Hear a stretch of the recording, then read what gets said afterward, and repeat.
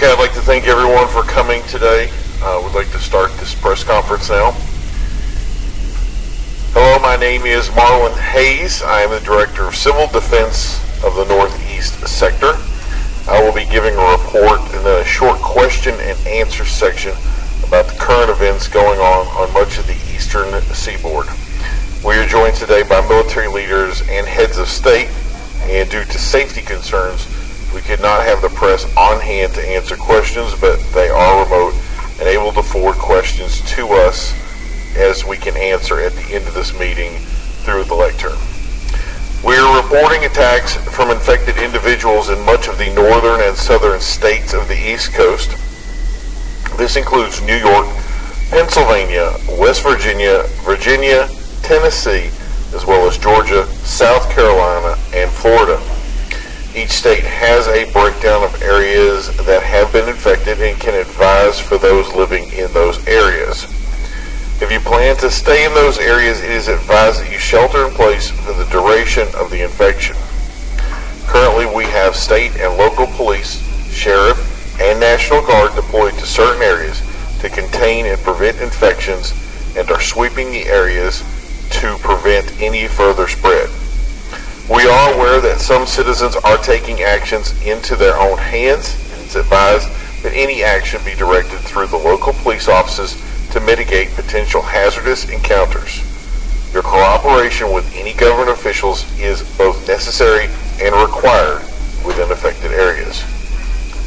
We are not fully aware of the full extent of the infection at this time, nor do we have a pathogen report on how it is transmitted but we believe it is most prevalent form of transmission is close or immediate contact and can infect individuals through breaks in the skin or transfer of blood.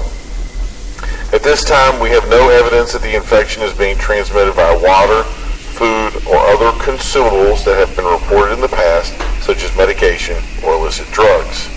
Meaning, if you can avoid the infected, you should be able to avoid transmission. If you are outside of an infected area, that does not specifically mean you will not come into contact with an infected individual. It also important to not harbor anyone that you believe may be infected. We understand that your goal may be to help family or friends, uh, those who are been afflicted with this illness, but any actions you take are futile. Again, there is no medication that can stop or slow the spread of the infection and if they are allowed to devolve, they could attack and infect you or others. They are capable of killing anyone they come in contact with. Remember, if you believe you or someone you know is infected, contact emergency services immediately. They will come to you. Now, we'll have a moment here to answer some of these questions. So the first question we have is, how are infected attacking? Uh, the usual attack is physical in nature. Uh, we have not seen the use of weapons or other items, uh, usually through bites or uh, attacks with hands and mouth are the prevalent forms of attack.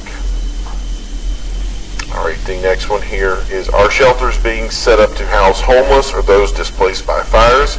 Uh, yes, we are currently in the process of setting up shelters and transportation for those who have been displaced. At the moment, they should go to hospitals and police stations for shelter. Okay, the next questions are any supplies needed? Uh, we have determined that in the future supplies may be necessary, but it must be handled from a government level as citizens should not be entering the areas that are infected prior to them being cleared.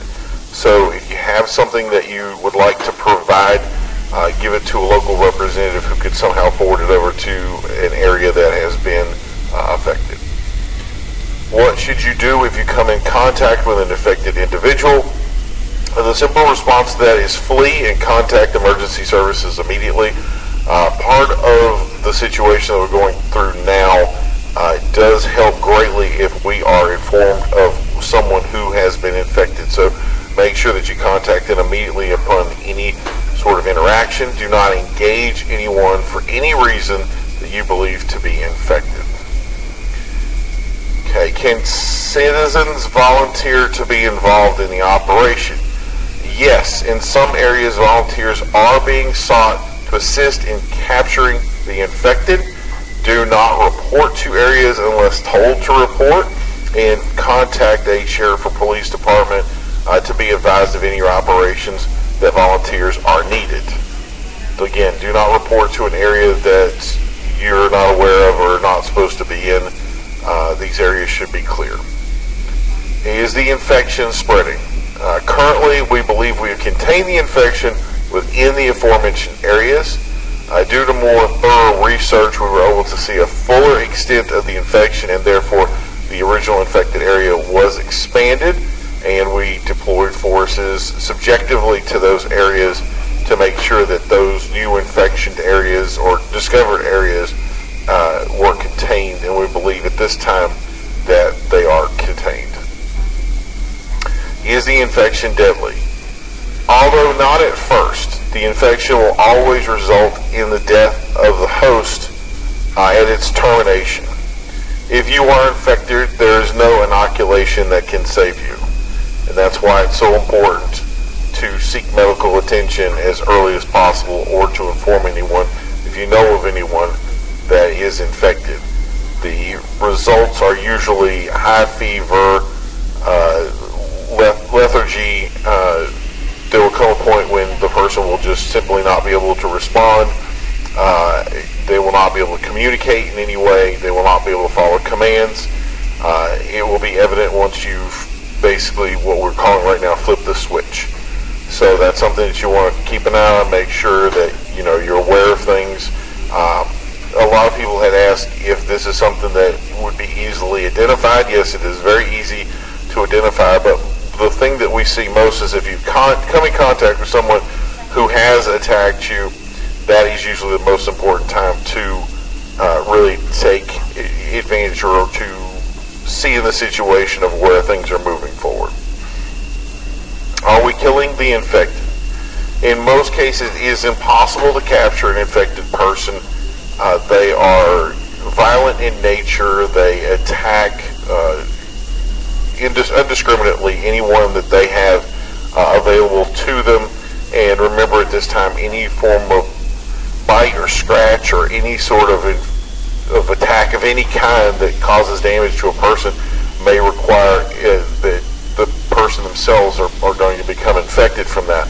Uh, so at this time, we are being required to put down anyone uh, that has been shown or proven uh, to display full signs. Remember that this is not something we expect citizens to take into account. Um, it is, again, if you see anyone, do not attempt to engage them. Simply call in a, who will be able to follow suit and take the appropriate action. Uh, is there any validity to the statement that the infection has killed the person prior to them attacking? Uh, we don't. Yeah, we don't have an answer for that at this time. So thank you for everyone's attention. Please stay tuned to your emergency broadcast uh, and continue to follow those to be up.